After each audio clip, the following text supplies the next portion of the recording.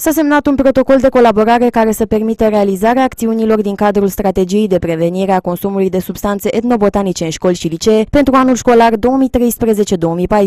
Elementul de noutate fiind că această campanie se va derula nu doar în municipiul Pitești, ci și în celelalte orașe și municipii din județul Argeș. O altă campanie aflată în plină derulare este cea care se referă la promovarea sportului de echipă, respectiv handbal, volei și basket în școli și licee și are printre obiective stimularea interesului elevilor pentru o viață sănătoasă prin sport, reducerea numărului de elevi scutiți medical la orele de educație fizică și creșterea bazelor de selecție pentru sportul de performanță. Astfel, dacă la începutul implementării strategiei în luna ianuarie 2013 mai puțin de jumătate dintre unitățile de învățământ aveau înființate o asociație sportivă, în prezent toate cele 167 de unități de învățământ preuniversitar au înființate astfel de asociații. Astfel, toate unitățile de învățământ au selectat sportul de echipă în funcție de baza materială de care dispun. Echipele care vor fi înscrise la competițiile care vor urma să fie organizate începând cu luna octombrie acestui an. Pentru început, acestea se vor desfășura la nivel zonal, iar finala acestor concursuri sportive va avea loc la sala sporturilor din Pitești. A fost realizat și codul de conduită cadru al elevului care va fi transmis după validarea lui în Consiliul de Administrație al Inspectoratului Școlar tuturor unităților școlare din județ pentru punerea lui în aplicare. De asemenea, a fost elaborată o hartă care cuprinde zonele cu risc ridicat de violență în mediul școlar, harta care redă procentul actelor de violență raportat la numărul de elevi înscriși în unitatea școlară respectivă.